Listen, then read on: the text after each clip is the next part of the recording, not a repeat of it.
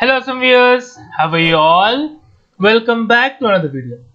Guys, in this video we are going to discuss how to resolve this error.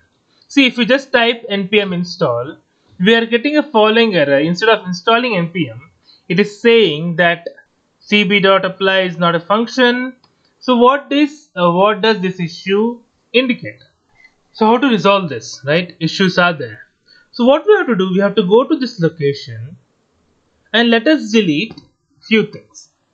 We have to delete the npm because because of the cache it might be caused. So let us go to my folder. So if I go inside npm here, so all my npm is there. Now I have to click on delete this one. So shift delete. So once I delete this permanently, right?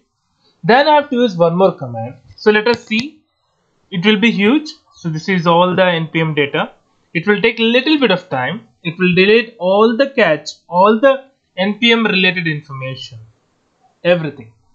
So now from that time we have to after that we have to install npm now you can see here the NuGet is there but npm is nowhere to be found. Now what we will do we have to force clean the cache. So now what i'll do npm cache clear force. So this what it does so force in the sense it will clear the cache entirely with force. So now after this, so just you have npm install, right?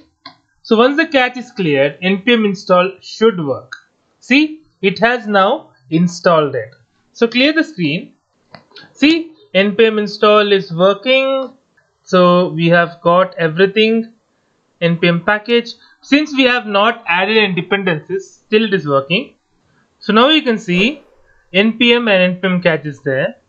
And also do you should open should also do command prompt. Here also you can install npm install.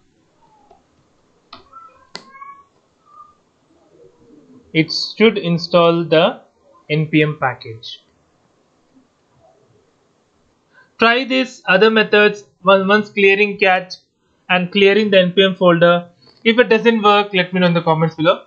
That, that's it for the video guys. If you like the video, please click on like. If you're a new viewer, please click on subscribe. Till then guys, take care. Have a great day. Bye-bye.